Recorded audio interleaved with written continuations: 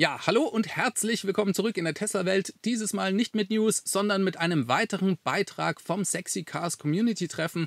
Das war das größte Elektroauto-Treffen weltweit, das wir am 30. Juli 2022 auf dem Messegelände in Hannover durchgeführt haben. Eine der Diskussionsrunden war Tesla in den Medien und da durfte ich tatsächlich auch in hochkarätiger Runde als Gast dran teilnehmen, zusammen mit dem Christoph Krachten, der als Spiegel-Bestseller-Autor und auch als YouTuber einigen von euch vielleicht schon bekannt ist. Wer nicht, abonniert bitte seinen Kanal. Und als weiteren Gast in der Runde hatten wir Jochen Rosenkranz, der ein absoluter Medienprofi ist. Er arbeitet für die Deutsche Welle und war auch schon bei Pro7 Sat1 sehr lange davor. Ja, moderiert hat die Runde Stefan Schwung vom Kanal Schwungvoll. Auch den könnt ihr gerne abonnieren. Und der hat ja seine ganz eigene Geschichte zu Tesla und den Medien. Das aber will ich gar nicht weiter vorwegnehmen, sondern schaut euch die Diskussion an. Es war eine klasse Runde. Es hat mir sehr viel Spaß gemacht. Viel Spaß euch.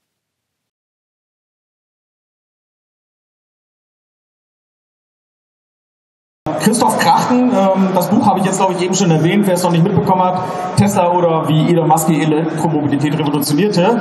Dann haben wir hier den ähm, David Reich äh, von Tesla Welt. Ähm, ja, Tesla Podcast. Muss ich haben, wegen Verbreitung, Chat. ähm, sollte den einen oder anderen Nee, garantiert geläufig sein. App Und hier hinter haben wir Chat jetzt den äh. Jochen Rosenkranz, ähm, schimpft sich auf Neudeutsch Alles Head Apple, of ja. Department Life and Style bei DW, bei der Deutschen Welle. So. Also ja, erstmal schön, dass ihr hier seid. Ich weiß noch gar nicht, ob ich stehen bleibe oder mich dazusetze. Ich guck mal, soll ich mich dazusetzen? Ja, okay. Ich gehe mal ein bisschen hier zum Christoph. Okay, ja, also, ähm, wir haben es eben schon mal ein bisschen angeteasert, das Thema Tesla in den Medien. Ähm, jetzt seid ihr alles ausgewiesene, ich möchte schon fast sagen, Medienprofis ähm, in jeder seiner Form. Ähm, ja, auch du. Und ähm, Sowieso, sowieso. Das könnt ihr aber gleich nochmal erzählen. Ähm, genau. Und lasst uns einfach mal über das Thema reden.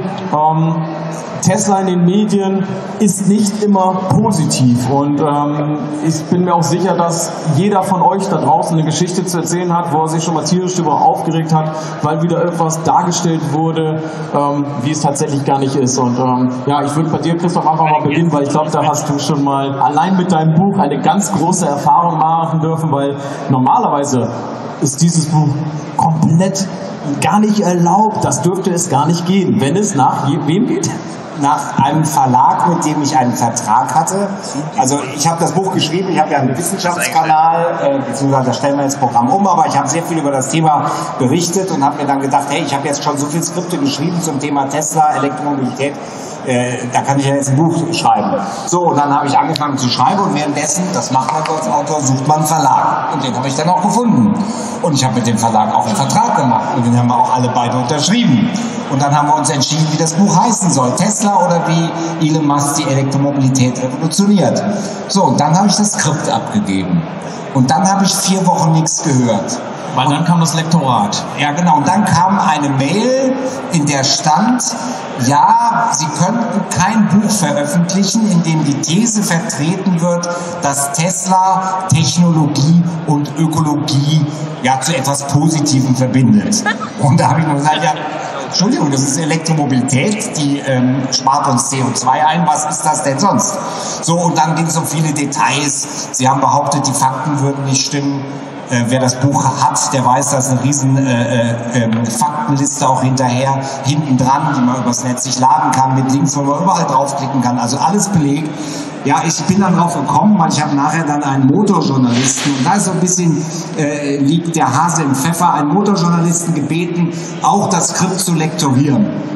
Und dann haben wir, musste ich mit dem über physikalische Tatsachen diskutieren. Zum Beispiel, dass der Schwerpunkt eines Elektroautos einfach tiefer liegt, weil die Batterie tiefer liegt und deshalb ein Elektroauto äh, sich schwerer überschlägt als ein Verbrenner. ich kann nichts dran ändern, die Physik ist einfach so. Und dann sagt der äh, Motorjournalist, ja, aber meine Erfahrung. Das ist Verbrennererfahrung, die ist veraltet. Und so sind ja die Diskussionen. Und wenn ich heute zum Teil halt die Berichterstattung äh, verfolge. Das gilt natürlich nicht für alles, aber es gibt teilweise Berichte, die wirklich ungetrübt vom Fachwissen äh, äh, also einfach Quatsch über Elektromobilität verbreiten und das ärgert mich schon, weil als ich Journalismus gelernt habe, habe ich gelernt, dass wir der Wahrheit verpflichtet sind. Wir können natürlich, es gibt nicht die Wahrheit, aber wir müssen natürlich nach bestem Wissen und Gewissen recherchieren und diese Rechercheergebnisse dann möglichst ohne persönliche Eintrübung verbreiten. Und wenn dann Beiträge laufen, wo das einfach nicht geschieht, dann sage ich, das, das, ist nicht, das ist nicht okay. Das ist ziemlich unjournalistisch. Jetzt ähm, haben wir jetzt hier mit, mit Jochen jemanden, der ähm, ohnehin ähm, auch in, diesem, in dieser, ich sag mal, Sphäre unterwegs ist. Ähm, du hast viel Erfahrung in dem Bereich.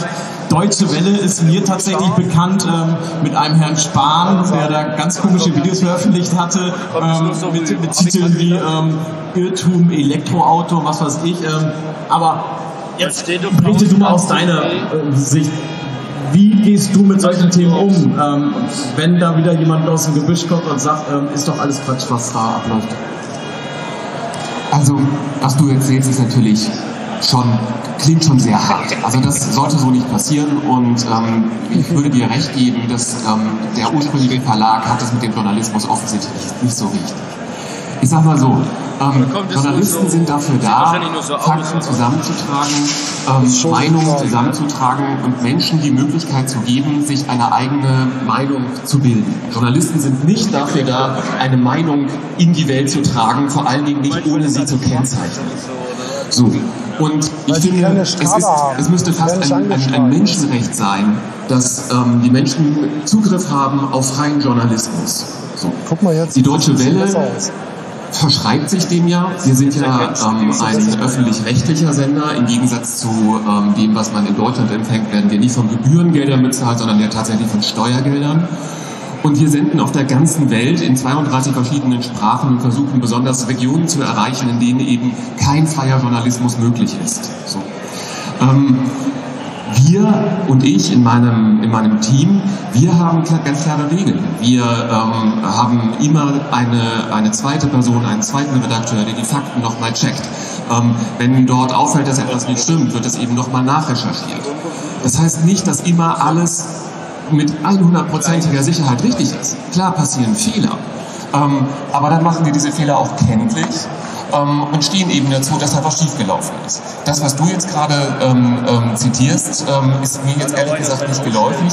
Ich muss aber auch dazu sagen, ich habe die Deutsche Welle ja nicht erfunden. Ich genau. arbeite da seit alles gut seit einem Jahr ja. und ähm, jetzt auch nicht in der Autoredaktion. Nee, auch, auch alles gut. Also, ich kann es dir nachher mal schicken, äh, ja. aber das ist auch schon ein bisschen älter, muss man ehrlich sagen. Das sind so zwei, drei Jahre.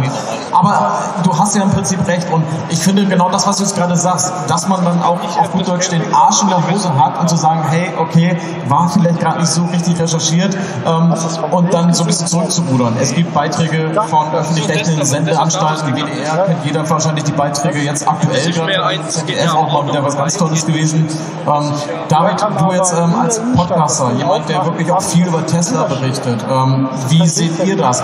Ihr nehmt Beiträge ja auch tatsächlich auseinander oder diskutiert darüber. Habe ich genau erklärt. Äh, äh, also teilweise ja. Ah, ich mache das aber inzwischen auch nicht immer, weil das einfach auch ähm, dem dann zu viel Raum einräumt. Und manche Sachen sind dermaßen unter jeglichen Niveau, äh, dass ich dann auch zum Teil gar keine Lust mehr habe, darüber zu sprechen. Mich hat aber jetzt in der Arbeit, auch mit dem Podcast, das doch überrascht und auch ein bisschen desillusioniert, was da alles so geschrieben wird. Und auch, ich habe da auch so ein Stück weit das Vertrauen vielleicht in so althergebrachte äh, Medien verloren, äh, die ich früher für seriös hielt, weil ich mich dann so viel mit dem Thema befasst habe, dass ich gemerkt habe, hm, da, da gibt es irgendwie eine Diskrepanz zwischen dem, was ich so erfahre und zwischen dem, was da geschrieben wird. Und das war eigentlich eine sehr ernüchternde Erfahrung auch, ja, weil auch echt Medien, die ich früher als gut, ja, weiß nicht, so Süddeutsche Zeitung oder so, die schreiben halt manchmal Schlagzeilen, ich könnte das HDMI-Signal über das Interview, das ich dann halt gehört habe, ja, klar, von dem her genau weiß, was da drin gesagt wird. Die nehmen wir doch gerade mit der Mitte Also, es sprichst gerade ja, an, Schlagzeilen, ähm, jeder von euch kennt mindestens ein Clickbaiting. Das switcht und dann steht da... Ich meine, oder? Also, auf jeden Fall.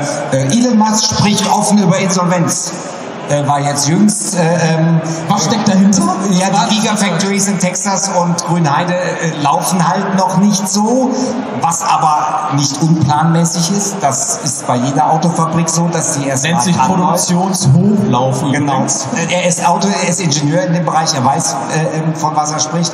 Und er hat halt mal Insolvenz angesprochen, nach dem Motto, wenn alles immer so weiterlaufen würde, dann würde Tesla mal insolvent gehen. Oder es gab ja mal die Situation, als die Model 3 Produktion anläuft, lief, da fehlten wirklich nur noch ein paar wenige Millionen und wenn er die 5000 Stück nicht pro Woche hinbekommen hätte, wäre Tesla tatsächlich pleite gegangen. Aber im Moment ist das überhaupt nicht die Situation. Aber jeder von uns hier im Publikum weiß, wie oft Tesla eigentlich schon pleite gegangen ist, oder? Die wären ja früher auch fast pleite gegangen. Das ist ja auch. Ja, es, es kam tatsächlich das Aktienoptionspaket von Mercedes damals äh, ein bisschen gerettet hatte. Ne? Also Mercedes ja. ist ja eingestiegen damals und hat mit 50 Millionen, ja, genau. Genau, das hat ihn auch damals wirklich in A gerettet und äh, deswegen haben ja immer alle erwartet, dass sie pleite gehen. Aber sowas jetzt zu schreiben und in einem Interview, wo Elon Musk einfach nur gesagt hat, ja, eine Autofirma, die ist darauf ausgerichtet, die will dauernd pleite gehen und man muss die ganze Zeit dagegen kämpfen, dass sie es nicht tut. Ja, das, hat er, das war eigentlich das Einzige, was er dazu gesagt hat und dann schreibt die Süddeutsche sowas. Und ich kriege sowas dann immer gar nicht über die Zuschauer von meinem Kanal, sondern das kommt über Nachbarn, über Onkel und Tanten oder Freunde, die sich damit nicht beschäftigen, weil die lesen das dann. Und die kommen dann auf mich zu und sagen, hey David, was ist denn da schon wieder los? Und äh, wie ist denn das jetzt? Vielleicht sollst du doch nicht dich so sehr auf Tesla äh, verlassen oder spezialisieren. Und genau. Also ich muss kurz was sagen zum Thema Clickbaiting und ähm, Headlines. Ne? Ähm, alle Medienanbieter, ähm, die jetzt was anderes machen als gedrucktes Produkt, bekommen stündlich, täglich, wöchentlich Auswertungen auf den Tisch. Und jeder Redakteur ist natürlich getrieben, dass seine Veröffentlichungen möglichst oft geklickt werden. Das betrifft oh, Artikel auf Webseiten, das betrifft ähm, Contents in Social Media und so weiter. Und ähm, die Überschriften von Artikeln werden in vielen Medienhäusern einfach auch nachträglich immer wieder ähm, SEO optimiert, wenn man einfach merkt, dass, ähm, der gewählte, dass die gewählte Headline nicht läuft. Und dass dann am Ende reißerische ähm, Headlines bei rauskommen, ist ja eine naheliegende Folge, weil jeder ist darauf aus, getrieben ähm, ähm, auch äh, von, von äh, Reichweitenvorgaben eben möglichst starke Klick zu werben. Ich finde, die Frage ist dann eher, was kommt dann in dem Text darunter oder was kommt in dem Beitrag ähm, nach der reißerischen Headline? Ähm, und spätestens dann, wenn es halt losgeht, dann muss es halt auch einfach sehr, sehr faktisch sein. Und ähm, wenn es da scheitert, dann haben wir ein echtes Problem. Aber ich finde noch nicht unbedingt bei einer reißerischen Headline. Okay, da würde ich lieber, es gibt Headlines, die mir selbst bei der Tagesschau ins Auge gefallen sind. Da wäre ich früher für rausgeschmissen worden. Zum Beispiel SpaceX Starship beim dritten Versuch nicht abgestürzt. Das Wort nicht war früher in Schlagzeilen verboten, weil es ja nicht das beschreibt, was passiert ist. Deswegen macht es eigentlich keinen Sinn. Und ist sowas heute erlaubt? Würdest du einem Volontär dafür die Ohren langziehen, wenn er eine Nicht-Schlagzeile macht? Oder würdest du sagen, gut gemacht, das hat doppelt so viel Klicks? Ja, ich bin ja ein großer äh, Fan von, von ähm, positiven Formulierungen. Also von daher würde ich das, glaube ich, jetzt auch nicht so durchgehen lassen. Also bei mir hieß es damals ja auch, ähm, Ingenieur vor dem ersten Arbeitstag bei Tesla gefeuert. Ähm, nee, war eben nicht so, aber es interessiert halt keinen, weil in dem Moment ähm, wollte ich nicht mit den Medien sprechen und ähm, sie haben sich dann einfach die Geschichte drumherum gebaut und ähm, je spektakulärer, desto geiler. Aber ja, ich glaube, also ich habe da selber auch schon meine Erfahrung mitgemacht. Ne? Vielleicht darf ich dich doch mal was fragen. Immer. Findest du, dass es besser gewesen wäre, mit den Medien zu sprechen? Weil das ist ja auch sowas, was Tesla immer vorgeworfen wird, dass sie kein PR-Department haben und dass sozusagen immer die Medien ja, anfragen so, und dann kommt keine Antwort und dann steht jedes Mal drin, wir haben bei Tesla angefragt, die Aussage wurde verweigert. Ja? Und, äh, wie, wie, findest du denn das jetzt so rückblickend mit deiner Geschichte? Boah, gute Frage. Also ähm, ich musste Tesla ja die Zusage geben, als ich den Vertrag unterschrieben habe, dass ich eben nicht mit Medien darüber spreche.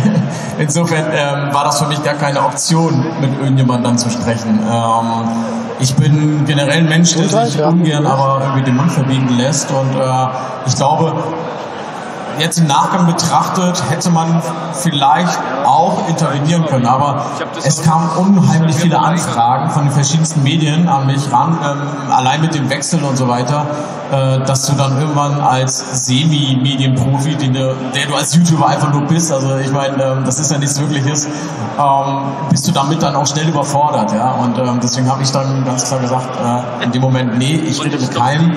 Heute würde ich sagen, ich würde mir wahrscheinlich vielleicht irgendwie ein, zwei seriöse Quellen mal raussuchen und mit denen dann auch gerne in so ein Gespräch reingehen. Ich habe es ja später dann auch nochmal gemacht, ähm, mit, mit, mit Medien, mit denen, denen ich vertraue, wo ich sage, okay, die sind für mich äh, positiv behaftet und die haben die Geschichte dann tatsächlich auch nochmal richtig genau ähm, wiedergegeben, so wie es dann tatsächlich war.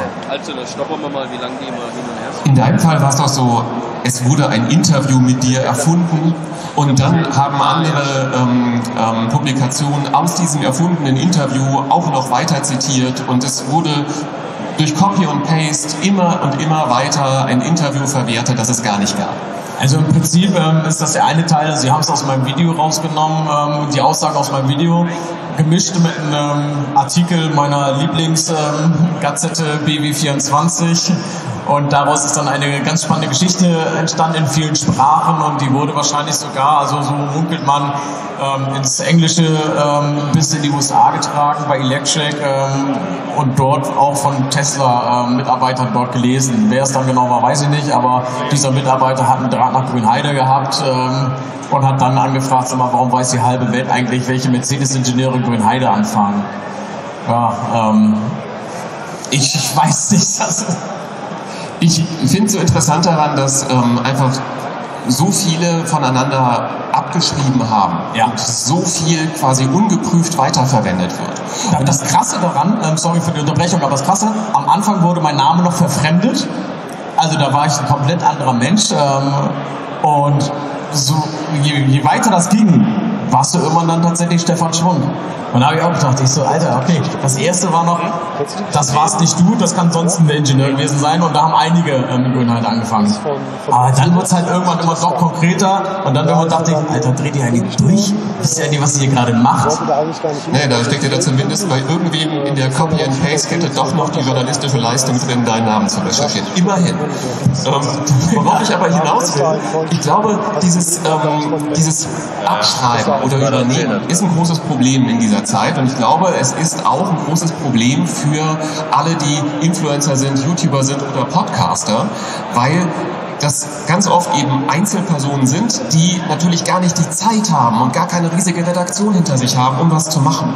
Und ich finde, da drin steckt in dieser Zeit, in der wir alle ähm, zig verschiedene äh, Social-Media-Kanäle abonniert haben und eben Menschen folgen, denen wir auch glauben, da drin steckt eine ganz große Gefahr. Denn es, es, es gelingt den wenigsten, selber den Fact-Check zu machen. Und jeder definiert, damit meine ich jetzt wirklich Influencer und YouTuber, jeder definiert für sich so ein bisschen, na, dem vertraue ich, okay, den zitiere ich, aber niemand ruft dann mal die Person an, um die es gerade in dem Artikel geht, den man gerade weiter verwendet. Und von professionellen Medienanbietern mit großen Redaktionen, finde ich, kann man erwarten, dass sie genau das tun. Und nach meiner Erfahrung tun sie das auch. Also in meinem Team wird es gemacht. Da wird nicht einfach irgendwas ähm, kopiert. Und ich glaube, man muss als, als, als Nutzender einfach auch abwägen, wem vertraue ich. Vertraue ich jetzt ähm, jemandem, von dem ich weiß, ähm, der ist zwar sympathisch, aber der ist eine einzelne Person, sind die Fakten wirklich geprüft? Oder vertraue ich eben einem großen Medium, wo ich zumindest erwarten kann und es in der Regel eben auch vorfinde, dass dort eben eine Redaktion dahinter steht, die die Dinge eben prüft. Und was hast du, ganz kurz, da will ich Sie mal eben drauf ansprechen, weil wir da gestern drüber gesprochen haben. Ähm, Fakten prüfen, ist genau das, was Jochen gerade sagte. Wie oft lesen wir denn jetzt gerade aktuell in den letzten Jahren, da brennt schon wieder ein Elektroauto. Und jeder von uns weiß ja, dass Elektroautos mindestens zehnmal häufiger brennen als jeder Verbrenner tatsächlich. Ähm, und deswegen wird das ähm, tatsächlich von denen, die es nicht wissen, geglaubt.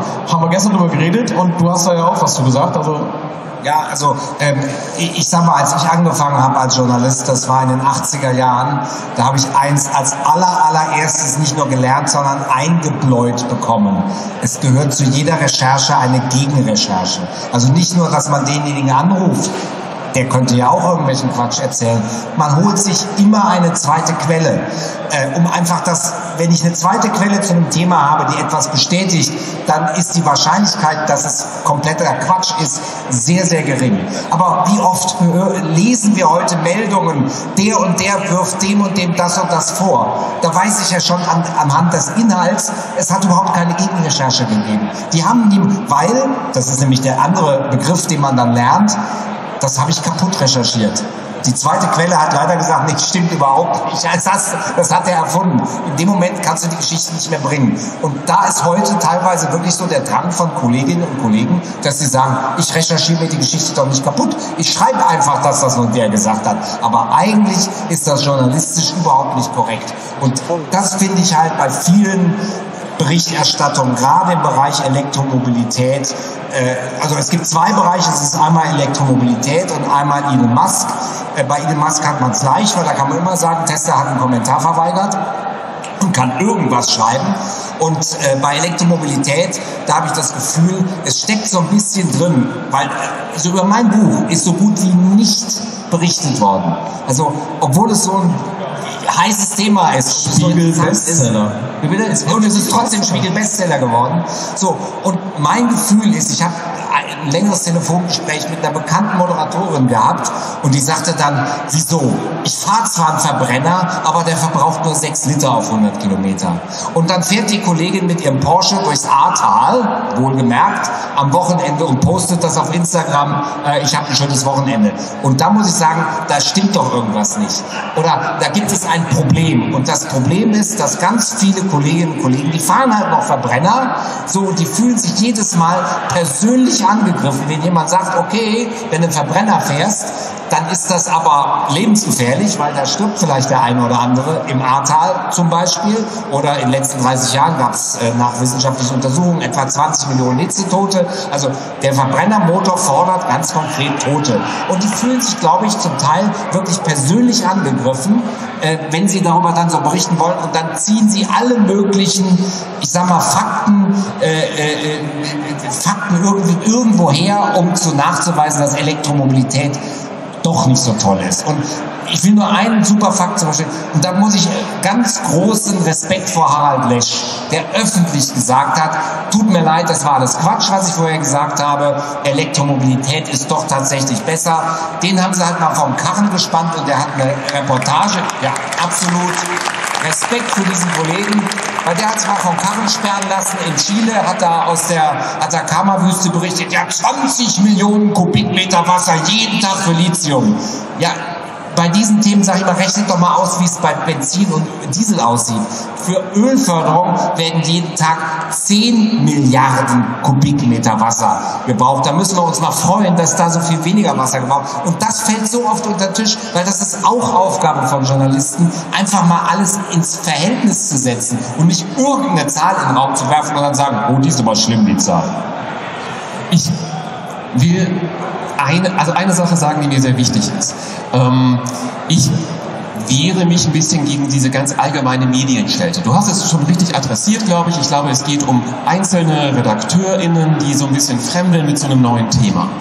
Ich ähm, möchte aber ganz klar sagen, dass wir in Deutschland einen guten Journalismus haben. Ich bin froh, dass es ähm, öffentlich-rechtliches ähm, Fernsehen gibt, Radio, öffentlich-rechtliche Online-Seiten und so weiter.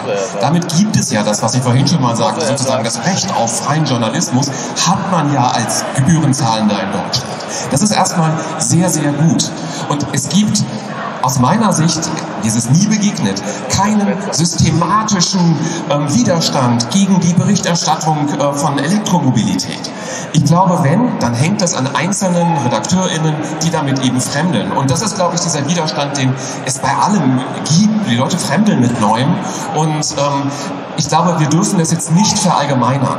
Wir müssen da auch ein bisschen aufpassen, weil auch gerade diese Begrifflichkeit Fake News ist sehr belastet. Die hat äh, Donald Trump geprägt, die hat die Querdenkerbewegung geprägt. Da müssen wir schon finde ich, uns ein bisschen ähm, klar machen, dass wir jetzt hier nicht über die bösen Medien. Ähm nein, nein, absolut nicht. Nein, nein. Man muss ja auch selber aufpassen. Ja. Ne? Man muss ja auch selber sehr aufpassen, weil man Fake News eben ganz schnell selber verbreitet.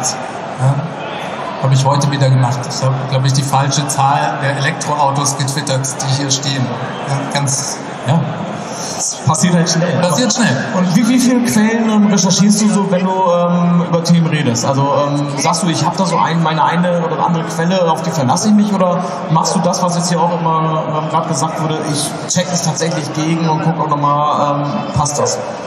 Also ich versuche mehrere Quellen zu haben und dann kommt es immer so ein bisschen auch drauf an. Ich meine, manche, ich habe jetzt ein reines Tesla-Thema, Tesla News. Ja, das, das heißt, viele Sachen kommen auch von Tesla selber. Das heißt, da ist die Quelle Elon Musk oder der Quartalsbericht oder Zahlen, die im Impact Report, das ist so der nachhaltige Report, äh, Report bei Tesla stehen. Und äh, denen, da kann man dann diskutieren, ob man denen vertrauen sollte. Ne? Das ist natürlich auch eine berechtigte Frage, ob die Zahlen okay sind, die, die jetzt Tesla als Unternehmen veröffentlicht. Ich habe da großes Vertrauen, ja, wenn sie wie viele batterieelektrische Autos bei Tesla brennen, das wissen die halt auch, weil alles vernetzt ist und sie genauen Zugriff auf die Unfallzahlen oder auch eben dann Vorfälle haben, wenn mal ein Auto brennt. Und deswegen, das kann eigentlich können auch andere gar nicht so genau feststellen. Wer soll das sonst feststellen? Die, die, die, Polizei oder die Feuerwehr vielleicht noch. Aber sind die national so vernetzt, dass sie dann die Zahlen wirklich haben? Ne? Das ist wirklich so einfach, diese Zahlen. Wird aber auch gegen Tesla verwendet tatsächlich, ne? weil sie gehen auch offen damit zu, wie viele Unfälle passieren, zum Beispiel zum Thema Autopilot. Ähm, wie oft wird das dann gegen die verwendet? Ja, absolut, weil es dann auch ganz normal äh, zu jedem Unfallvorgang schon fast eine Untersuchung von den amerikanischen Behörden gibt, was ein vollkommen Nummer dafür sind die da. Die sollen das machen. Die sollen, müssen das überprüfen. Und dann gibt es halt, ja, okay, es werden so und so viele Unfälle gerade schon wieder untersucht ähm, und das wird gegen sie verwendet, ja. Das stimmt. Aber also meine Erfahrung ist in, gerade in diesem Bereich, wenn irgendeine Meldung kommt, ich warte dann immer. So 15 Minuten. Und dann kommt irgendeiner, der diese Meldung positiv oder negativ auseinander nimmt. Also die zweite Quelle kommt von selbst. Beispiel, BYD baut mehr Elektroautos als Tesla. Ich glaube, es war wirklich eine Viertelstunde später oder vielleicht eine halbe Stunde später, da kam der Post, Moment, ich habe mir das mal angesehen, ihr habt ja die Hybridautos mitgezählt, das stimmt gar nicht und die Zahlen sind in Wirklichkeit so. Das kommt relativ schnell. Und wir haben ja eine gewisse Erfahrung, das gehört ja auch zum Journalismus mit dazu, dass man in einem Thema drin ist und aus dem Grunde schon einfach was einordnen kann. Und wenn dann eine bestimmte Meldung kommt, keine Ahnung, der Autopilot baut viel mehr Unfälle als andere, dann weiß man aufgrund der Recherche, die man schon Monate oder Jahre lang zu dem Thema gemacht hat, hm, klingt für mich unwahrscheinlich, werde ich jetzt erstmal so nicht wiedergeben, lass mal abwarten, was danach kommt. Oder wenn's, wenn man halt dringend ist, dann muss man nachrecherchieren, dann muss man mal beim ADAC anrufen oder äh, bei anderen Verbänden oder auch mal bei BEM hier oder sonst was. Es gibt ja genügend Quellen, die man dann kontaktieren kann und das ist halt, finde ich, die journalistische Aufgabe und ich will auch keine Medienschelte machen, aber es gibt halt, und da will ich auch gar nicht sagen die öffentlich-rechtlichen, es gibt bei Medien halt Journalisten, das für mich das schlimmste Beispiel ist die Bildzeitung. Die machen, und zwar teilweise aus eigenem Antrieb, Kampagnenjournalismus. Und es gibt Dokus, es gibt eine Elektroauto-Doku auf Arte, die ist unter aller Kanone. Es gibt eine Elektroauto-Doku auch im ZDF, die ist unter aller Kanone. Das sind einfach 80% Falschbehauptungen drin. Äh, äh, und das finde ich extrem ärgerlich. Sowas dürfte so einem Sender, und zwar eigentlich sind die Sender ja so aufgebaut, wie du gesagt hast, es gibt einen, einen Journalisten, eine Journalistin, die bereitet den Film, das Skript vor, dann gibt es einen Redakteur und eine Redakteurin, die nimmt das ab, die hat ja auch Erfahrung und kann nochmal kritisch nachfragen. Und wenn es heikel wird, kann man immer noch zum Redaktionsleiter gehen.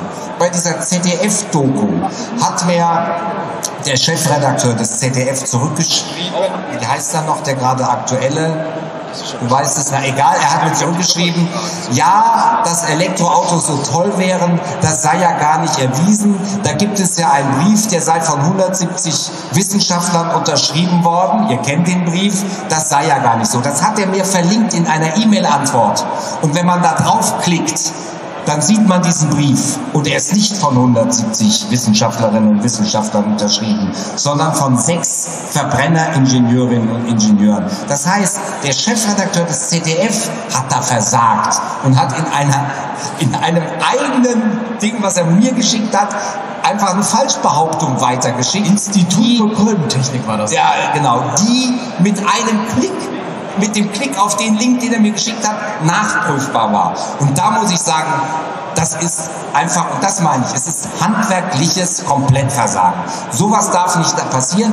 Der ist dafür da, um das, Peter Frei, der ist dafür da, damit das nicht passiert und der schenkt mir einfach die vorformulierte Mail der Redaktion weiter.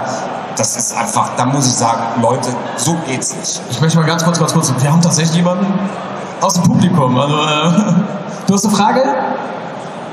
Na, ich wollte nochmal eben zum Großen zurückkommen, damit wir nicht so sehr über die Befindlichkeiten von Elektroautofahrern nur reden, weil das hat für mich so ein bisschen Jammerkultur. Aber das ist das Thema hier. Ja, aber das ist ein bisschen Jammerkultur. Das aber das ist das Thema hier, das ist das Jammerkultur-Thema heute. Okay. Sollen wir machen, dann sind wir für eingekauft. Ich wollte einen Einspruch machen zu dem, was David gesagt hat. Der, die Wiedergabe von Pressemitteilungen, von reinen Pressemitteilungen eines Unternehmens ist kein Journalismus.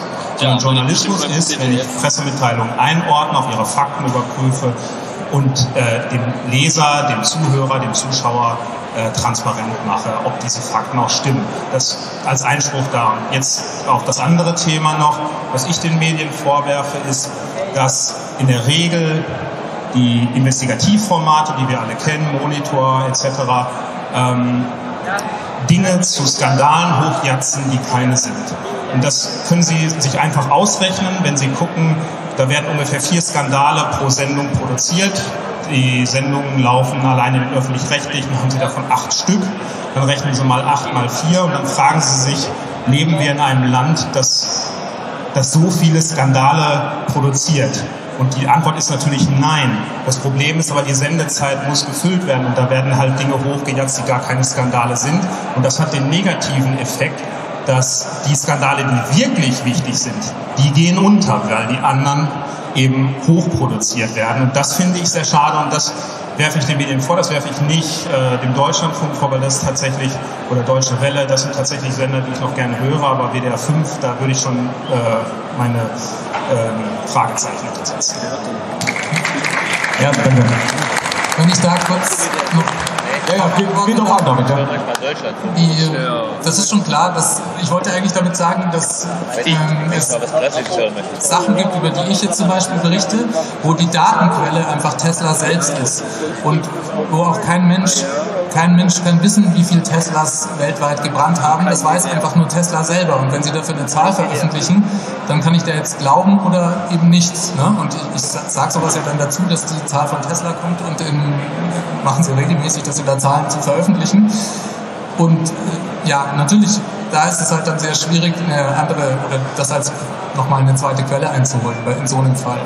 Ansonsten frage ich mich halt auch immer, und vielleicht können wir darüber auch noch ein bisschen sprechen, was die Motivation dahinter ist. Das versuche ich dann immer so für mich herauszufinden. Einerseits, okay, Clickbait verstehe ich, ja, ähm, kommt dann immer darauf an, welches Medium es ist. Da bin ich dann im Einzelfall vielleicht ein bisschen enttäuscht oder enttäuschter, als je nachdem, wer die Bildseite unterschreibt. Na gut, okay, habe ich jetzt auch nicht groß was anderes erwartet.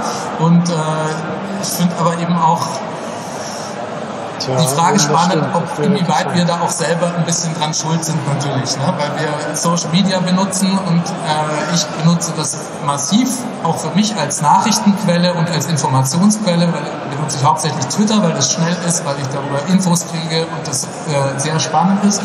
Und ich weiß aber natürlich, dass Twitter von Werbung lebt und darauf optimiert ist, dass ich möglichst viel Engagement zeige und möglichst lange Twitter benutze und möglichst lange das lese. Das heißt, Twitter zeigt mir die Sachen, die ich eh toll finde. Ja, das ist schon mal im Prinzip total schlecht, weil ich dadurch ja abgeschirmt werde von, von Kritikern, von anderen Meinungen, von, das, das geht ja alles flöten. Ja, und ich sitze sozusagen da und werde immer mehr in die Social Media Bubble reingezogen und höre am Schluss nur noch das, was ich so schon hören wollte oder eh schon wusste und ähm, gebe auch damit so ein bisschen oder biete eine Angriffsfläche oder eine Plattform, da dann irgendwann sehr mono äh, beziehungsweise der Algorithmus, der Algorithmus, der passt sich da ja auch noch drauf an. Du bist nur noch in dieser Bubble. Also also man muss dazu sagen, es gibt ein wunderbares Video von einem Wissenschaftskanal Veritasium. Und das Video heißt so ungefähr, My video has gone viral, that's why. Und das erklärt ganz wunderbar, warum soziale Medien Boulevard sind. Sprich, warum Clickbait-Überschriften besser sind. Ich habe das jahrelang im Wissenschaftsbereich gemacht. Ich habe immer versucht, und das ist mir nicht immer gelungen, aber ich habe immer versucht, Überschriften zu machen, die die Leute wirklich catchen, weil das ist der Job, die aber nichts versprechen, was nachher nicht in dem Text, der darunter ist, erfüllt wird. Und das finde ich teilweise, wenn diese Grenze überschritten wird in den sozialen oder überhaupt in den Medien, dass die Überschrift gar nicht das wiedergibt, was wirklich passiert wird. Der letzte, das letzte, ja wirklich schlimme Beispiel war in der Bildzeitung, wo äh, die Bildzeitung getitelt hat: Unsere Intensivstationen waren nie überlastet hat äh, äh, hier äh, unser Gesundheitsminister gesagt. Das hat er so erstens nie gesagt. Das ist äh, ähm, also das ist einfach, das ist Clickbait, wie es nicht sein darf. Das, weil die Überschrift ist so falsch. Und das finde ich, da ist eine Grenze überschritten, die darf man nicht überschreiten. Absolut. Ich möchte kurz einmal eingehen auf das, was, was, was du machst. Ne? Ähm, das mit deinem, was du in deinem Podcast, Podcast machst, ich habe mir jetzt ja auch mal irgendwie ein paar Folgen davon angehört, das hat eine totale Berechtigung. Und du erwähnst ja auch gelegentlich, dass du Fan bist. Ne? Ähm, und du bist aber trotzdem so in, in meiner Wahrnehmung so ein bisschen so ähm, der Steffen Seibert von Angela Merkel, der im Prinzip ähm, übersetzt, was die Meldungen von Tesla bedeuten und du ordnest sie ein für Fans. Das hat eine Berechtigung und ich glaube, du machst das auch gut, aber eben für die Zielgruppe Fans eine Berichterstattung über ähm, äh, die Sorgen der ähm, Bewohner von ähm, Grünheide oder eine Berichterstattung über ähm, die ähm, ähm, äh, Baugenehmigungen ähm, des, äh, des Werks dort, würde ich bei dir erstens gar nicht erwarten. Und vielleicht würde ich dir auch nicht wirklich glauben oder deine, deine Neutralität dir abnehmen, weil du ja eigentlich dich eben an, an Fans richtest. So, und dadurch entsteht dann dadurch kann ein gewisser Effekt entstehen. Wenn du sozusagen für deine Bubble, also für, für, für die Menschen, die hier sind, also für Fans von Elektromobilität und für Fans von Tesla Programm machst ähm, und diese Menschen durch den Algorithmus immer mehr Content ausgeliefert bekommen von ähm, Menschen, die für Fans Content machen, dann bekommt man in Social Media sozusagen die kritische, in Anführungszeichen, Berichterstattung nicht mehr ausgespielt. Und dann entsteht plötzlich etwas ganz anderes. Wenn man dann doch mal irgendwo was hört, oh, da irgendwie gibt es ähm, ähm, Probleme mit dem Grundwasser, dann entsteht im Kopf sehr schnell, das ist Fake News. Ich habe so viel Positives gehört und plötzlich höre ich jetzt das. Das kann doch gar nicht sein. So, damit will ich nicht sagen, dass du irgendwie ähm, etwas falsch machst. Ne? Aber ich will damit sagen, dass es wirklich wichtig ist, welche, welche Quellen man hat und dass man eben über ähm, Influencer hinaus, die halt irgendwie äh, Fans sind und einen klaren Auftrag haben, einfach auch noch anderen folgen muss, die einfach andere Standpunkte einnehmen oder die eben neutrale Medien sind. Gut, da möchte ich aber auch, da haben für mich gerade beim Thema Wasser, nicht Grundwasser, die Medien auf kompletter Breite versagt bei der Diskussion der Fabrik von Grünheide, weil sie auch hier eine Zahl in den Raum gesetzt haben und nicht ins Verhältnis gesetzt haben. Die Fabrik in Grünheide braucht 1,4 Millionen Kubikmeter Wasser jedes Jahr. Die Braunkohleseen in Brandenburg und Sachsen, wenige Kilometer entfernt, verdunsten jedes Jahr 90 Millionen Millionen Kubikmeter Wasser. Um die Tagebauseen zu befüllen in den nächsten Jahrzehnten, werden 6 Milliarden Kubikmeter Wasser ver, äh, ver, verbraucht, gebraucht. Das heißt, die Elektromobilität ist hier auch viel umweltfreundlicher als die fossile äh, Förderung von Braunkohle. Und das ist nie in Verhältnis gesetzt worden. In keiner Berichterstattung, ich kenne keinen Artikel, keinen Fernsehbericht, wo diese Zahlen ins Verhältnis gesetzt worden sind. Und da muss ich sagen, und das auf ganzer Breite, öffentlich-rechtlich, privat, da ist komplett versagt worden. Und wenn du jetzt sagst, Fans von Elektromobilität, da würde ich sagen, also wenn ich, wenn mir einer sagt, ich bin Tesla-Fan, sage ich, nee, das bin ich nicht. Wenn die Scheiße bauen, dann sage ich es auch. Aber ich bin ein Fan von Elektromobilität, weil ich bin ein Fan des Überlebens der Menschheit. Und da finde ich das Wort Fan nicht richtig. Wir sind engagierte Menschen, die sich für das Überleben einsetzen. Und wenn unser Verkehrsminister sagt, man muss das ins Verhältnis zu, der, zu den Mobilitätsbedürfnissen setzen, muss man sagen, was denn? Ja, das Überleben unserer Kinder. Die werden gegriffen gegrillt, wenn wir hier ohne Ende Verbrenner fahren. Und das finde ich so eigentlich eine falsche Haltung bei vielen Journalistinnen und Journalisten, dass das nicht berücksichtigt, wenn wir hier nicht auf die Bremse treten, wie wir heute durch Volker Quaschning und viele andere schon gehört haben, dann sterben wir. 20 Millionen Hitzetote in den letzten 30 Jahren, verursacht mit durch auch Verbrennermotoren. Das kann man einfach nicht verneinen. Und wenn ich sowas schreibe, dann kriege ich immer an, das ist doch alles Quatsch. Nee, ist kein Quatsch, ist so. Wir, wir, wir müssen hier was tun. Und das finde ich teilweise bei der Berichterstattung fehlt im Hintergrund.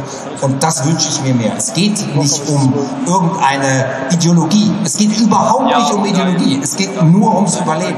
Und da, da fehlt mir teilweise wirklich äh, ja, das Verständnis. Und da kann man unterschiedlicher Meinung sein, wie wir überleben, aber nicht, dass wir überleben ich versuche das, ich versuche das dann auch immer mit mehr Zeit zu bekämpfen. Also und ich glaube, da viele Journalisten, die, die, was schreiben müssen, die haben natürlich überhaupt nicht die Zeit, die ich da reinstecke oder die auch noch andere Leute da reinstecken. Und klar bin ich Fan, klar bin ich sicher nicht unparteiisch in der ganzen Elektromobilitätsgeschichte und auch nicht in der Tesla-Geschichte. Aber ich wenn ich was nicht verstehe, zum Beispiel, sowas wie diese Wassergeschichte fand ich höchst spannend, auch wie das in den Medien behandelt wurde und äh, das war aber ein Thema, wo ich mich zum Beispiel jetzt überhaupt nicht auskenne. Muss ich einfach sagen, ja. Da habe ich keine Ahnung von. Was weiß ich, wie viel Wasser das verbraucht und, äh, ja, und man kann sich dann eben viel damit befassen. Und ich habe zum Beispiel dann da ein Interview mit dem Alex Vogt gemacht. Der, ich wollte gerade sagen, du lädst dir dann aber Leute ein. Genau, ich lade mir dann Experten ein, die das sind auch vielleicht Fans, aber das sind halt Leute, die zum Beispiel im Falle von Alex Cook, der das hauptberuflich macht, der sich nur damit befasst und der liest dann diese ganzen Gerichtsurteile durch ja, und steckt da Stunden rein, die selbst ich überhaupt nicht da reinstecken kann. Und mit dem rede ich dann darüber. Oder bei dem, als das aus dem ESG-Index geflogen ist, da habe ich halt dann mit einer Expertin, die bei Moody's gearbeitet hat, ein Interview gemacht aus den USA und versucht darüber dann mit Leuten zu reden, die sich da eben extrem viel besser auskennen noch als ich es vielleicht tue um da eben dann ähm, ja, mehr Input zu haben und auch gut, die guten Infos zu haben. Und ich glaube, das ist so ein entscheidender Punkt. Ähm, genau, was du eben sagtest. Dann gibt es plötzlich ein Thema, dann ist der Experte gerade im Urlaub und dann heißt es so, das machst du mal eben. Du hat aber jetzt Ahnung von Dampfloks und nicht von der E-Mobilität. Und was dabei rauskommt, das sehen wir halt leider viel zu häufig noch. Ne, also äh, gut, du hast es jetzt eben nochmal gesagt, Jochen, äh, klar gibt es dann immer noch jemanden, der das gegenliest, Fakten checkt und so weiter. Ich glaube aber gerade bei so, ähm, ich sag mal, Breaking News oder so, da wird, glaube ich, äh, wenig gecheckt, weil da kommt eine Meldung und dann heißt es, wer zuerst kommt, der wird zuerst gelesen. Oder? ja, also weiß ich nicht. Also die, die Breaking News ist ja oft auch erstmal eine Aussage. Ne? Der und der hat das und das gesagt. Damit macht man ja erstmal nichts falsch, wenn man ähm, sich sicher ist, dass die Person das gesagt hat, man gibt es weiter. Oder das und das ist passiert. Ich glaube, es gibt echt einen Unterschied zwischen einer News und einer tiefgründigen Berichterstattung. So, deswegen kann man jetzt bei der News erstmal nicht vorwerfen, dass äh, da jetzt irgendwie ähm, vielleicht die Gegenseite noch nicht, noch nicht drin ist. Das passiert dann vielleicht in den nächsten Stunden oder in den nächsten Tagen. Aber was naja, ich um wer sonst? Also jetzt diese Wassergeschichte ist so ein Beispiel, ist aber so generell, und da kannst du vielleicht aufklären, die, das Bemühen, mehr Hintergrund zu vermitteln. Zum Beispiel, wir diskutieren jetzt alle im Sommer über Dürre und Wasser. Aber keiner geht ja, mal so tief und sagt, wann entstehen denn überhaupt die Probleme? Wir haben in Berlin, ich komme aus Berlin, kein Wasserproblem. Überhaupt nicht. In 20 Jahren werden wir ein riesiges Wasserproblem haben in Berlin. Wir werden wahrscheinlich nicht mehr genügend Wasser haben, um die Stadt und auch die Gigafactory und so weiter mit Wasser zu versorgen. So, in Stuttgart haben sie eine Wasserleitung übrigens gebaut, da sitzt Daimler. Das Wasser würde niemals reichen, um dort Fahrzeuge zu produzieren. Die haben eine Wasserleitung vom Bodensee nach Stuttgart gebaut vor vielen, vielen Jahren. Sowas wird alles nötig sein und das müssen wir eigentlich diskutieren und das müsste eigentlich in den Medien mal dargestellt werden. Was ist denn überhaupt eine Lösung für Berlin? Die müssen wahrscheinlich eine Entsalzungsanlage irgendwo in der Nähe von Rügen bauen und ein Riesenrohr nach Berlin legen, sonst wird das nichts mehr. Weil wie wollen die die ganzen Tagebau sehen wollen und so weiter. Und das ist aber, das ist ja auch nur ein Schlaglicht, weil wir werden dieses Wasserproblem überall bekommen. Und zwar teilweise in überhöhten Mengen, siehe Ahrtal. Da ist man ja schon ein bisschen dran, dass man die Städte darauf vorbereitet. In Köln wurden riesen Hochwasserschutzmauern gebaut. Äh, in anderen Städten versucht man auch Rückhaltebecken zu bauen und so weiter, aber man ist sehr langsam. Und auf anderer Seite werden wir Wassermangel haben, weil wir einfach so Extremwetterereignisse haben. Aber es gibt so wenig grundsätzliche Berichterstattung über solche Themen. Man hat das Gefühl, die Kolleginnen und Kollegen werden immer, äh, die rennen immer der aktuellen Sau hinterher, die durchs Dorf getrieben wird, aber die merken gar nicht, dass da gerade äh, eine Herde Kühe vom Dorf verdurstet äh, und es mehr, dem mehr, demnächst nichts mehr zu essen gibt. Und das ist so, was ich so, also das wäre meine Medienkritik so im Allgemeinen, wo ich sage, das finde ich wirklich so über die gesamten Medien finde ich dazu, ist eben eher eine Skandalisierung da. Von Grünheide gab es ja x Berichte auf Frontal 21, wo man sich danach gefragt hat, ja, und wo ist denn jetzt das Problem? Oder letztlich gab es auch eine Lidl-Reportage, da wurde sich ernsthaft darüber beschwert, dass die, Bananen grün importiert werden und dann gereift werden lassen in speziellen Häusern. Das geht anders nicht. Bananen werden so behandelt seit 100 Jahren. Ähm, und da fragt man sich, diese Skandalisierung wird eher gemacht, als dass man mal einen vernünftigen Hintergrundbericht macht, der uns wirklich die Probleme, die wir haben, vor Augen führt. Ja, also die, dicke Leitung von äh, der Ostsee nach äh, Brandenburg liegt ja, das ist Nord Stream 2. Ich glaube, an, an, an Land ist sie fertig. Ähm, ähm, vielleicht kann man sie nutzen in 20 Jahren. Ähm, ich glaube, ähm, es ist so ein bisschen so, wie du sagst, ich wohne ja auch in Berlin und ich glaube, die Wahrnehmung der, der Berliner war immer, ja, wir, wir sitzen hier auf dem Sumpf, wir haben genug Wasser. Und ich glaube tatsächlich, dass jetzt durch, durch die Gigafactory dieses Bewusstsein für ähm, Wasserknappheit kam. Und das sagt ja auch niemand, zumindest ist es mir nicht begegnet, dass das Wasser jetzt äh, in vier Wochen weg ist, sondern es hat ja diese Perspektive. Und ich glaube, das Thema ist jetzt entstanden und ähm, es wird da sicherlich jetzt eine Beschäftigung, eine Auseinandersetzung mit, ähm, mit geben. Aber ich finde es ja grundsätzlich erstmal gut, dass ähm, ähm, Medien dort gesagt haben, ja, toll, dass hier Arbeitsplätze entstehen, okay, super, super, aber ähm, wir haben hier irgendwie eine komische Dehnung von Genehmigungsverfahren. Ähm, ach, und dann gibt es hier noch den Verbandschef vom, vom, vom Wasserverband, der sagt, das Wasser geht aus. Also, das dann darüber erstmal zu berichten, ist ja absolut richtig und wichtig. Also, also quasi sagst du, Jochen, ähm, dass das Thema Negativberichterstattung eigentlich ähm, auch wieder eine Chance ist. Es geht ja nicht um Negativberichterstattung, sondern darum, verschiedene Fakten zusammenzutragen, verschiedene Meinungen zu haben, also verschiedene Meinungen äh, zu zeigen und ähm, dazu beizutragen, dass sich Menschen eine Meinung bilden können. Ich finde, Journalisten sind nicht diejenigen, die die Lösung haben müssen. Das, dafür gibt es irgendwie Wissenschaftler, Politiker und so weiter. Ähm, und ähm, vielleicht ist es so, dass manchmal zum Zeitpunkt der Veröffentlichung ähm, eine Seite nicht drin ist, weil sie vielleicht Vielleicht wurde sie vergessen zu fragen. Vielleicht gibt es keine valide andere Seite. Aber es ist doch trotzdem erstmal gut und wichtig zu sagen, hier gibt es Menschen, die sagen, es gibt folgendes Problem. Ja, worum mir es äh, geht, eigentlich nochmal, um auch dieses äh, Thema des äh, Gesprächs nach vorne zu bringen.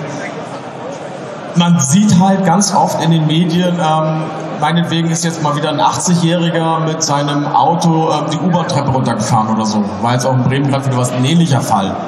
Ähm, dann steht da halt, ein 80-Jähriger ist eine U-Bahn-Treppe runtergefahren. War es aber mit dem Elektroauto. Steht dann da, ein 80-Jähriger ist mit seinem Elektroauto die U-Bahn-Treppe runtergefahren. Als ob das Elektroauto dafür der Grund ist. Und sowas meine ich. Warum, bitteschön? Es interessiert keine Sau. Es geht darum, dass ein 80-Jähriger jetzt irgendwie eine Rampe mit einer Treppe verwechselt hat. Aber es wird immer besonders hervorgehoben, hey, in diesem Fall war es jetzt aber ein Elektroauto. Denkt mal drüber nach. Ja, das kann jetzt auch selektive Wahrnehmung sein. Ne? Wenn, der, wenn da steht, der ist mit seinem Opel da runtergefahren, würdest du dich als Opel-Fahrer darüber aufregen. Also, ich glaube, dass es das interessanter macht. Ne, das ist halt auch wie Tesla als Thema polarisiert und Elon Musk natürlich auch ganz stark polarisiert, ist es einfach etwas, was interessanter klingt, als wenn du schreiben würdest, dass du mit dem Auto runtergefahren das ist dieses berühmte Thema, das hatten wir ja vorhin, die Überschriften. Äh, wir leben halt in dieser Zeit, wo sich einiges in den Medien verändert hat, äh, wo sowas, was die Bildzeitung macht, quasi zum Standard bis zur Tagesschau geworden ist. Das haben wir ja schon festgestellt. Ähm, und das macht es für so eine Neuentwicklung schwierig. Allerdings, ich wünsche mir generell im Journalismus mehr Professionalität. Und zwar über alle Medien. Und ich sage nicht, dass das generell ein Problem ist, aber ich sage mal so, es gibt mir zu viele Ereignisse, wo ich sage, das kann doch wirklich nicht wahr sein. Ich finde, wir haben vielleicht ein generelles Ausbildungsproblem mit Journalisten. Es gibt ja immer noch keine Stadt. Jeder kann, ich kann jetzt sagen, also oder ich kann es sagen, weil ich seit 40 Jahren mache, aber ich hätte es auch mit 15 sagen können, ich bin Journalist. Es gibt keine Prüfung, es gibt Standards eigentlich und es gibt einen Pressekodex und der wird auch eigentlich eingehalten, aber da steckt halt leider das Wort eigentlich drin. Er wird zum Teil halt, wenn es um was geht, wird er verlassen. Und das ist schon immer so, nur in diesen digitalen Zeiten finde ich, ist es teilweise fahrlässig. Und das würde ich mir wünschen, dass das nicht so ist. Vielleicht, was wir mal machen können, können wir mal Workshops machen mit Journalisten zum Thema, um halt einfach auch so, so Basiswissen zu verbreiten. Einfach, es gibt einfach Irrglauben über Elektromobilität. Eben, das verbraucht so viel Wasser bei der Lithiumgewinnung. Ist totaler Quatsch. Äh, die brennen öfter. Ist totaler Quatsch. Und so weiter und so fort. es gibt noch äh, viele, viele Irrtümer, wo man einfach mal Journalistinnen und Journalisten so ein paar Grundfacts beibringen müsste, damit die nicht mehr auftauchen. Weil das ist das Ärgerliche, dass da, ich sag mal, Fakten mit Erfahrung in Anführungszeichen, also letztlich und das ist das Problem, anekdotischem Wissen. Ich sage immer, dass das, wenn ich was anekdotisch weiß, dann sage ich, Leute, das habe ich mal erlebt, ich weiß aber nicht, ob das so ist, aber viele Leute denken, mir ist das passiert, das ist immer so. Und das ist, wenn ich das bei Journalisten erlebe, denke ich mir, das, so kannst du nicht arbeiten. Und das finde ich dann wirklich ein bisschen schade. Aber da musst du auch ganz klar sagen, dazu musst du ja auch die Bereitschaft haben, offen zu sein, eben dieses auch anzunehmen. Also ein Beispiel, das hast du selber in deinem Vorwort im Buch geschrieben, ähm, dass es eben von Verlag da nicht angenommen wird, dass du so berichtest? Ja? Nein, nein, ich habe also ich habe einen Menschen, der Motorjournalist ist, äh, ähm, engagiert und bezahlt, damit er es äh, legt. Achso, er hat tatsächlich auch. Ja, ja, aber wir haben uns trotzdem gestritten. Wir haben trotzdem wie die Kesselflicker gestritten. Ja, aber über Fakten. Und da lasse ich nicht mit mir reden. Ich bin Journalist und wenn die Physik ist, wie sie ist, dann ist sie so. Da kann ich leider nichts dran ändern. Und Elektroautos brennen halt mindestens, also maximal genauso auf den Verbrenner. Es gibt Studien, die darauf hinweisen, und das muss man auch so formulieren. Wenn ich nicht genau weiß, muss ich das so formulieren. Ich finde, es gibt halt da teilweise zu leichtfertigen Umgang mit Wahrheit. Und manche Journalisten kennen wir eben auch von bestimmten Medien, die meinen, sie müssten für irgendetwas kämpfen. Und ich finde, da ist Elektromobilität legitim, weil die bedeutet, dass mehr Menschen überleben. Das wissen wir. Es gibt und der Klimawandel existiert. Das wissen wir inzwischen. Und da gibt es nichts zu diskutieren. Und das müssen Journalisten einfach ja, so genau. akzeptieren. Ich würde in einer Kleinigkeit widersprechen. Ich glaube, Journalisten sind nicht diejenigen, die für etwas kämpfen. Journalisten sind diejenigen, die über die berichten, die kämpfen. Für die Wahrheit kämpfen. Ja, natürlich. Okay, da, äh, d'accord. Aber ich glaube, das ist halt ganz, ganz wichtig, dass ähm, es gibt Aktivisten und es gibt Journalisten. Und ähm, es ist immer schwierig, wenn sich das miteinander vermischt. Ähm, und ähm, es gehört dann zum objektiven Journalismus eben auch dazu, dass man sich nicht vor den Karren spannen lässt. Weder ähm, von der Mineralöllobby noch von der Elektromobilitätslobby. Das ist schon klar, aber es gibt bestimmte Prinzipien, da finde ich, muss jeder Mensch Aktivist sein. Das ist äh, Schutz unseres Planeten. Das ist einfach ein, ein Grund. Faschismus, ich, ich kann, ich kann ja, nicht akzeptieren, dass faschistische Inhalte in der Presse auftauchen. Und es gibt so ein bisschen ein paar Punkte, da kann man nicht darüber diskutieren. Absolut, aber das hat dann ja auch nichts mit Aktivismus zu tun, sondern das sind die, die Grundpfeiler unserer ähm, ja. Gesellschaft, in der wir leben. Genau. Auf, genau, darauf genau. basiert natürlich guter Journalismus. Genau, genau. Da, da sind wir halt dann als Menschen dann auch schon alle Aktivisten. Wir sagen, es muss eine Moral geben, wir müssen unseren Planeten schützen, äh, wir müssen äh, äh Menschenrechte schützen und so weiter. Das ist ja, da, da gibt's ja, und dafür kämpfen wir. Natürlich nicht für irgendwelche Themen. Und das meine ich ja auch. Das kann nicht sein, dass ich denke, ich als Journalist bin jetzt der große Kämpfer für, keine Ahnung, irgendwas.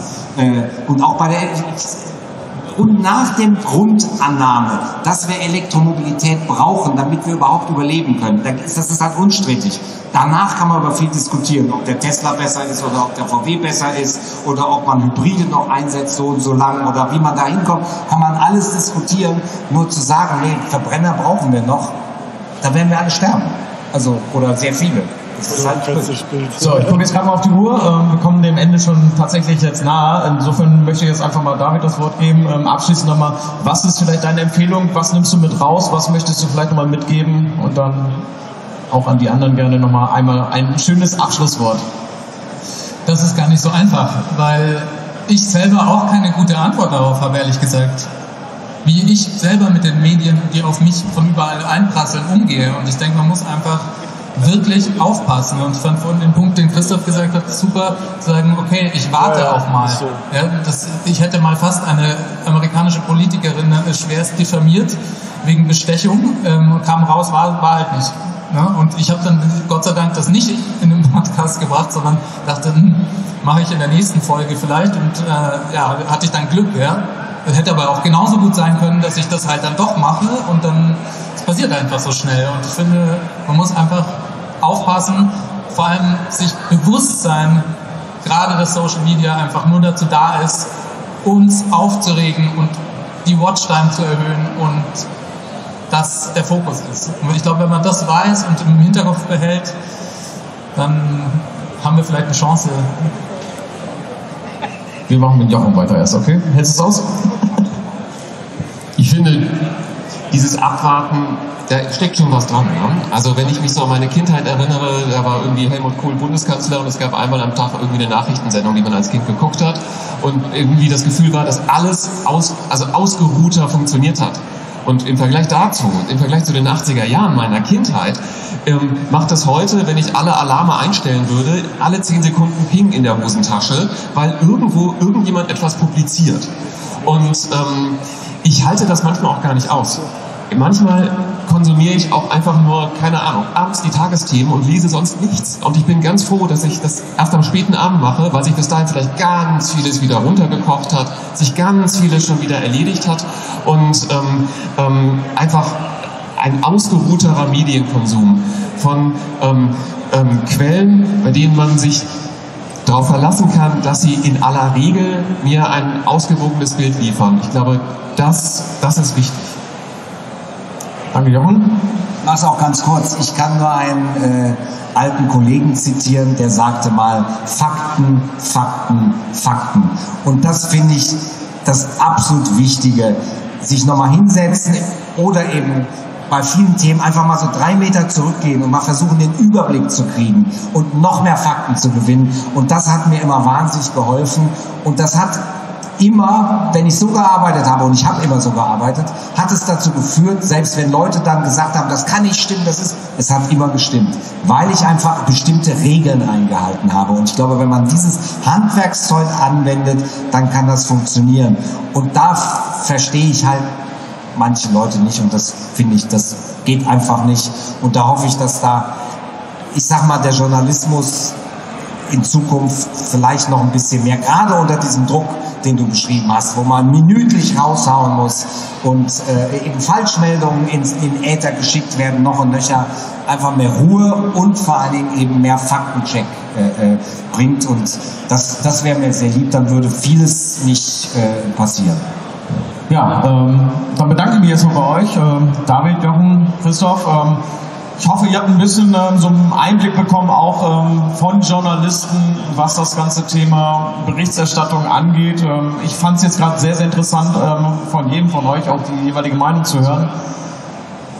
Wir sind durch jetzt von der Zeit her, also war jetzt der letzte Redebeitrag auch. Also danke. Ja.